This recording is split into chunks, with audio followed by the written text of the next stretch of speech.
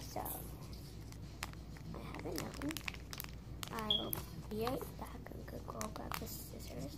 You guys can see it